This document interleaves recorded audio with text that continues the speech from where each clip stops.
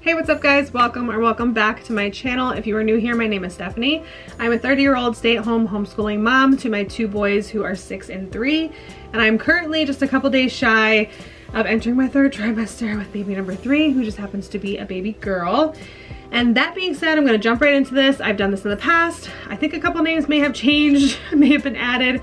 It might be a little bit repetitive from the last time I did this video, the last time I was pregnant, which was about four years ago now. But I'm gonna be sharing 10 girl names that we love but will not be using. And the reason that they won't be being used is because this is more than likely, we're like 98% sure that this is our last baby that we're gonna be having.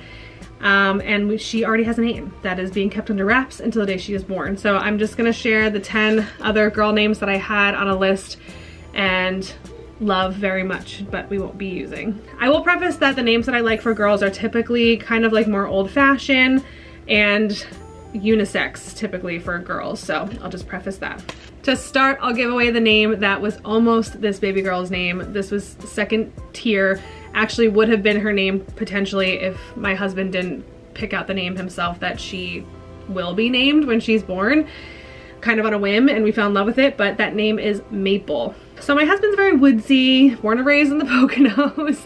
So we have a few woodsy names more specifically for boys, but I actually really liked the name Mabel, which was one of the names that I had suggested to him my last pregnancy before we knew what we were having. He was not a huge fan. He kind of just changed a letter and said, hey, what about Maple? Like that's cute, like I could handle that. And I'm like, wow, like I kind of love that. It's very like earthy and organic, kind of like very just unique name. So that, that would have been her name. She would have been Baby Maple. She will not be, but that is one name that we really liked and are not using. The next name is Cordelia.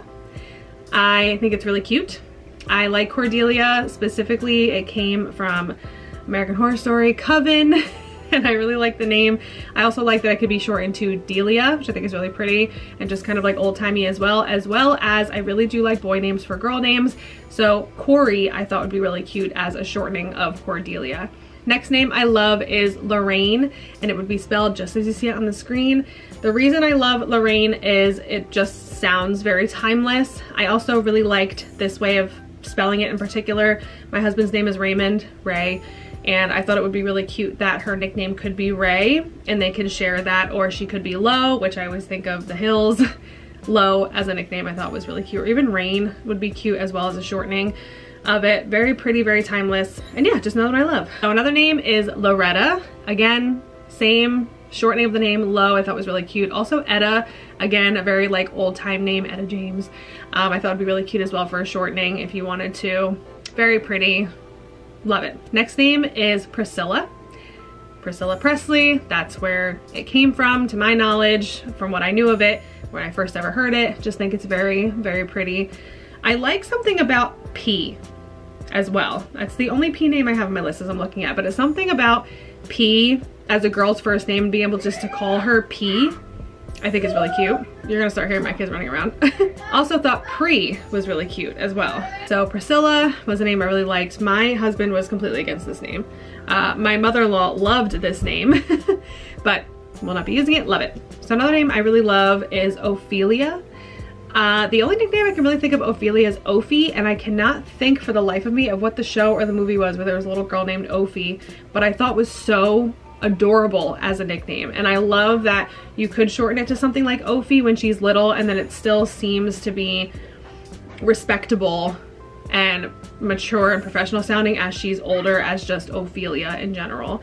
Um, I'm not really sure what else you could do to shorten that name, but I just think it's very pretty. Next name on my list of girls is Drew.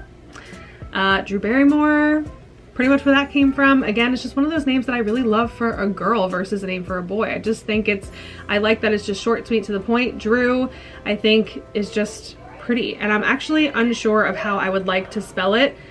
I might even have just preferred it to be like D-R-U um, with like an accent on it to like accentuate that it sounds like a long U. I don't know. Not that we're using it, but Drew, love it. I have two more names on the list. My creatures are coming up here.